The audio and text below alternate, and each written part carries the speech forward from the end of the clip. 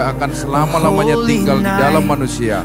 karena manusia itu adalah daging tetapi umurnya akan 120 tahun saja. dan akan melahirkan seorang anak laki-laki. dan hendaklah engkau menamai dia Yesus.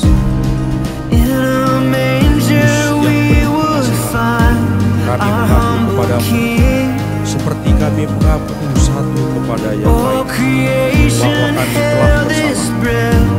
dalam pikiran, perkataan, dan perbuatan. Your light came breaking through the darkness, waking every heart with heaven singing joy unto the world. Our long-awaited Savior, you will reign forever. Siapa pun We yang are bersama singing dengan joy bahkan unto masyarakat the Indonesia yang mereka layak, para warga binaan yang mereka layak, berkati Kemenkumham, Bapak Menteri, Bapak Dirjen, dengan semuanya jajaran Kemenkumham di seluruh Indonesia.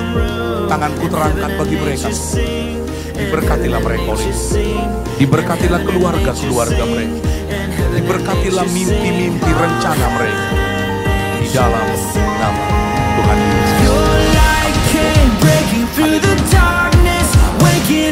Selamat Natal with 25 Desember 2022 dan selamat menyongsong tahun baru 1 Januari Kita 2023. laksanakan kegiatan Natal bersama ini dengan kebersamaan dan kebahagiaan bersama.